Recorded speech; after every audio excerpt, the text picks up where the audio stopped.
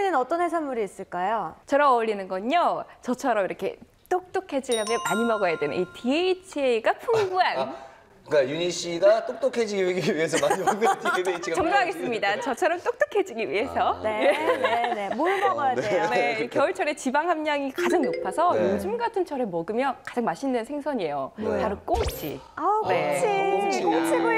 맛있는데. 네. 그러니까 맞아요. 이 꽁치가 이 겨울철에 지방이 가장 많이 들어 있습니다. 아. 이 중에 64%의 불포화 지방산이 그렇죠. 들어 있는데 여기가 이제 노인성 치매 예방이 좋다는 DHA와 그리고 EPA 같은 불포화 지방산이 아주 풍부해서 두뇌 발달에도 좋아요. 그러니까 아이들이 먹어도 참 좋겠죠? 그렇겠다. 음, 그리고 간의 해독장을 돕는 아미노산도 많은데 에, 특히 히스티딘이라고 불리는 이 아미노산이 많아서 네. 이게 천연 강장제로 불릴 정도라고 합니다. 어. 그러니까 좀 뭐 여러 가지 여러 얘기 나오는데 쉬운 것만 보면 불포화 지방산, 네. 아미노산 굉장히 좋은 영양소가 많이 들었다는 얘기예요. 그렇죠. 네. 머리도 좋아지고, 그렇죠, 그렇죠. 몸도 좋아지고.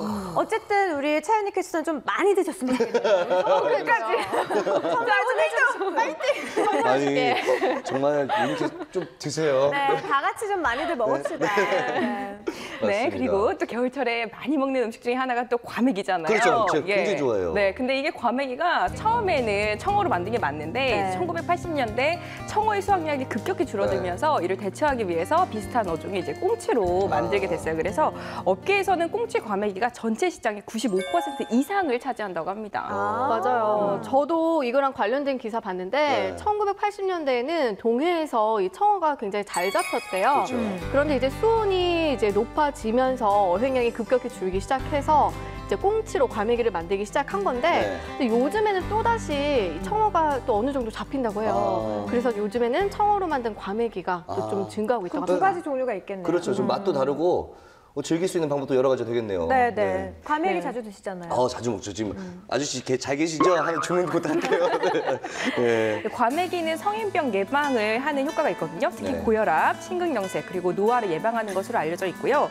또 만드는 과정에서 DHA와 그리고 불포화 오메가3 지방산이 오히려 네. 더 원래 재료 꽁치보다 오- 많아집니다. 아. 네.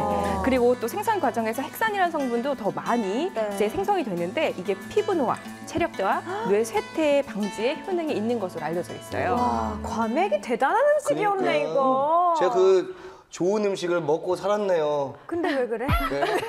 조금 더 먹어볼게요. 그래요. 네, 네, 네. 아니 뭐 성인병 예방에 뭐 노화 방지까지 네. 별의별 뭐 효능이 다 있는 것 같은데 네. 근데 이렇게 좋은 음식을 좀 비려서 아. 저는 사실 잘 못 먹겠더라고요. 저도 아. 사실 네. 코를 막고 먹어야 되는데 아니 굳이 코로 먹고 그러세요? 제가 먹을게요. 그런 거는. 그럴 거 그냥 먹지 마세요. 그러니까. 좋다고 하니까. 그러니까 그러니까 이렇게 좀 네. 우리 같이 비려서 못 먹는 사람들은 어떻게 아, 해야 저도 돼요? 사실은 어렸을 때 그랬어요. 근데 요게 어, 김에 그리고 미역을 딱 얹고 여기다 과메기 얹고 네. 마늘 좀 마늘 고추 딱 넣고 네. 고추장 딱 찍어서 먹으면 향도 많이 사라지고 이게 바로 지금- 자연 맛이에요 자연 맛. 아니 근데 지금 되게 이정섭 씨 같은 고추장을 살짝 넣어주면은 끝. 그것도 하나 해주세요. 네. 참기름. 치- 참기름 넣으면 안 돼요. 자, 참기름이요? 근데 중요한 게 뭐냐면 네. 마늘하고 같이 먹는 게 굉장히 중요합니다. 왜냐하면 과메기에는요 비타민 B1을 파괴하는 물질이 있기 때문에. 어, 진짜? 네.